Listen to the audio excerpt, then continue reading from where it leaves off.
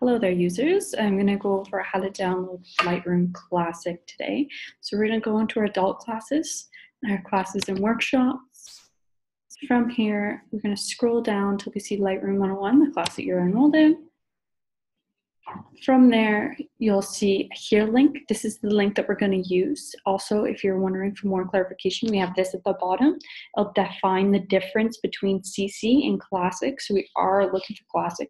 The CC does not work for the program. So we're going to click here. From here, you should be able to start your free trial. You're going to click there. Even though it says Lightroom CC, it still will give you the option for downloading Lightroom Classic. From there, once it's all downloaded and you've gone through signing into your Creative Cloud and creating an account, the Lightroom CC should appear if you see at the top. This means you're in the wrong program. From here, you'll see a logo up at the top that's your Creative Cloud.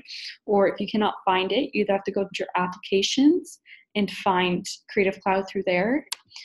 From there, we can open it up and you'll see Lightroom Classic CC. This is the one that we are looking for. From there, you're going to press try, and that will download the program onto your laptop.